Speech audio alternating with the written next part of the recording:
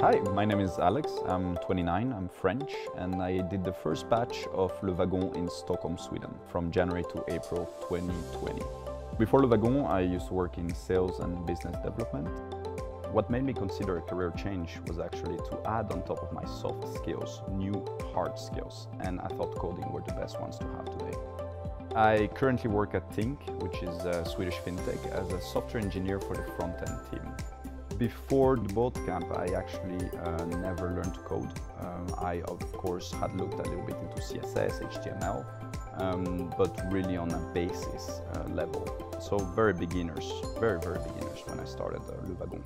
If I could describe my experience at Le Wagon with three words, it would be um, challenging, rewarding, and determining to knowing that I want to code for the rest of my life, pretty much. My advice to you is to not take this lightly, to commit yourself no matter how frustrating things might look during the bootcamp. Because the more effort you're going to give, the better reward you're going to get.